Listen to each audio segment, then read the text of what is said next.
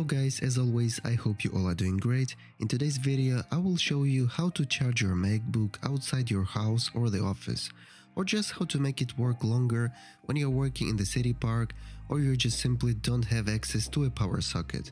We all had this type of situations when you need to have some more juice for your MacBook but you don't have a power socket nearby. Even if the new 16-inch M1 Pro MacBook has an amazing 21 hours of working time relying just on the battery, sometimes it can be nice to plug my computer to a power source to extend its battery life. For example, when I'm working outside or if I forgot to charge my computer at home. Me personally, in the summer, I like working outside but editing videos in Final Cut, working in Photoshop, working some heavy apps, using full screen brightness, drains quite a lot my computer's battery and it might be not enough for a full day of work without a power source. But I found a very simple solution for this problem and I would like to share it with you in this video. You can simply use an external battery, also called a power bank, with a USB-C type connector. For my MacBook Pro 16-inch, I'm using a short USB-C cable or even a standard MagSafe cable.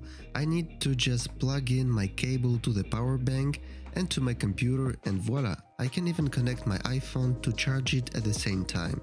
If you want to use your external battery with your MacBook, you need to have at least 18 watt of power delivery, otherwise your power bank will not be powerful enough to charge your computer.